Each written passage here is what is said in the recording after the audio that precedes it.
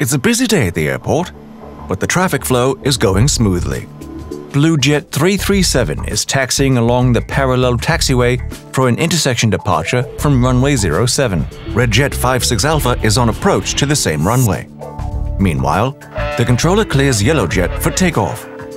As Blue Jet 337 is taxiing to the holding point, the tower controller asks the crew, Blue Jet 337, are you ready for immediate departure? Airbus 320, 5 miles from touchdown. They respond, Ready, Blue Jet 337. And the controller issues the clearance.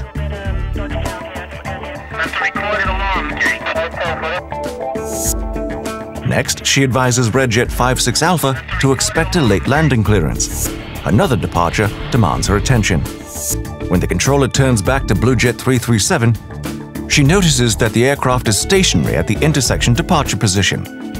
The controller waits a few seconds for the aircraft to start rolling when Red Jet 56 Alpha reports, Tower, Red Jet 56 Alpha going around due traffic on the runway. The controller has no option but to cancel Blue Jet 337's takeoff clearance. What went wrong? To expedite traffic, clearance for immediate takeoff can be issued to an aircraft before it enters the runway. Once accepted by the pilot, the controller will expect the aircraft to taxi onto the runway and take off in one continuous movement. But in this case, the pilot was not able to do so.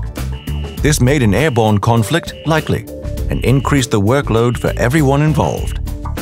To avoid these situations, pilots and controllers should remember these key points. Pilots, never request or accept an immediate departure clearance if unsure that you will be able to begin takeoff without stopping. Ensure that the cabin secure report has been received before accepting an immediate departure.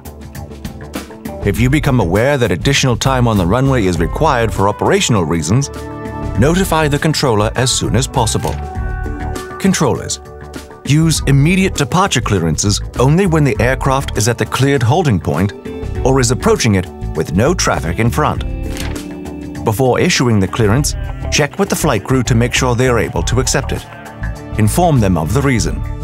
Immediate departure from an intersection may not be possible due to aircraft performance or wake turbulence limitations or other cockpit-related factors. Closely monitor pilots' conformance with immediate departure clearances and be ready with an alternative plan. Learn more about immediate departure clearances on SKYbrary.